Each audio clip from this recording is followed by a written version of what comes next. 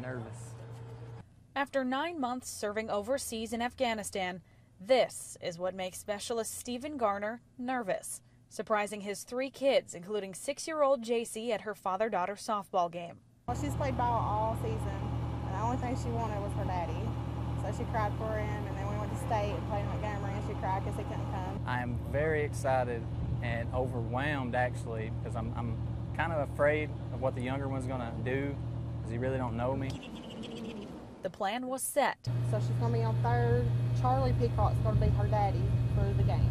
As Dad watched from the press box, the nerves started to set in. Uh, this is her batting, so. Okay. Oh. Then it was time for the big reveal. First thing I want to do is just hug them and let them know that I'm not going anywhere right now. That I'm that I'm home and here for them. What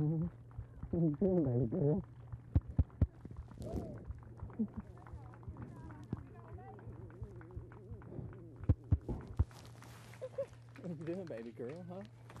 What you doing?